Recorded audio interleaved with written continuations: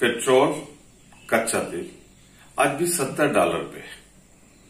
पर दाम बढ़कर 104 पाँच पेट्रोल का और 100 का शतक लगा दिया डीजल ने, जो किसान ट्रैक्टर में भरवाता है, ट्यूबवेल चलाता है मड़ाई करता है जिससे। वो भी सौ के पार हो गया बहुत से शहरों में।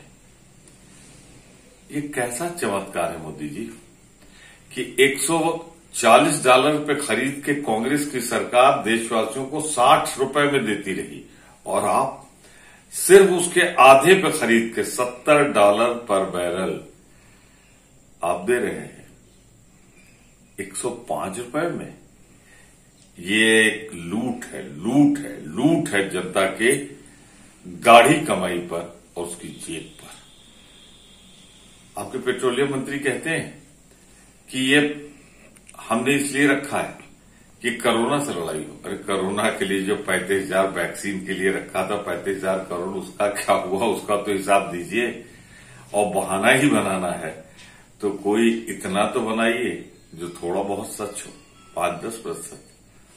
कुल मिला के मोदी जी, आप अडानी एंड कंपनी को जो लूट की इजाज़त आपकी सरकार दे रही है, ये अक्षम्य अपराध है।